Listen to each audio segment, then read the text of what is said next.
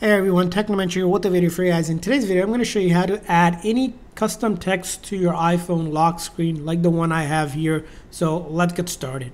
So in order to add that custom text message on the lock screen, first thing is we need to get an app that allows us to do that because by default, there isn't an option. So there's a tons of apps that allow you to add custom stuff on the lock screen. The one that I found has helpful is this one called AnyText widget so which you can download. It's a pretty good rated app here um, free to download. Once you download it on your iphone it's going to look like this. And all we want to do is open that up and might give you a welcome screen but basically it allows you to create text widgets on your iphone. There's 10 of them that you can create.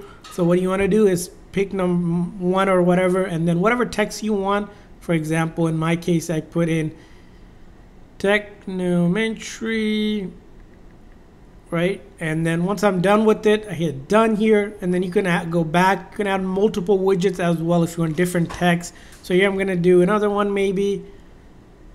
iPhone, doesn't matter. These are just examples, of course. You're gonna have your own custom text that you can do.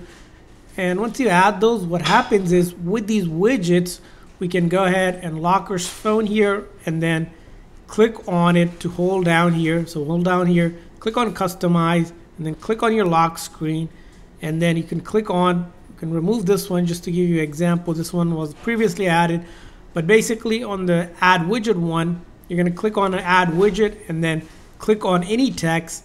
And then these widgets that you see one two respond basically is what we wrote in that app that we downloaded. So this one is the first uh, text that we wrote and then this is the second widget and then we have this message and then we can hit done click on done.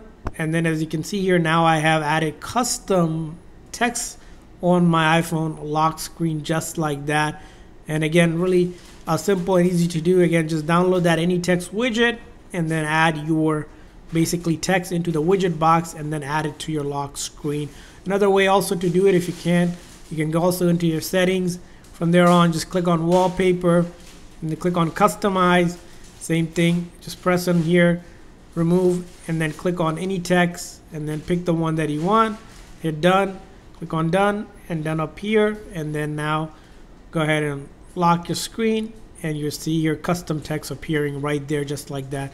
Again I hope you guys found this video helpful so please consider the like and subscribe button for more tips and tricks like this one for your iPhone and other iOS devices. We'll see you guys the next time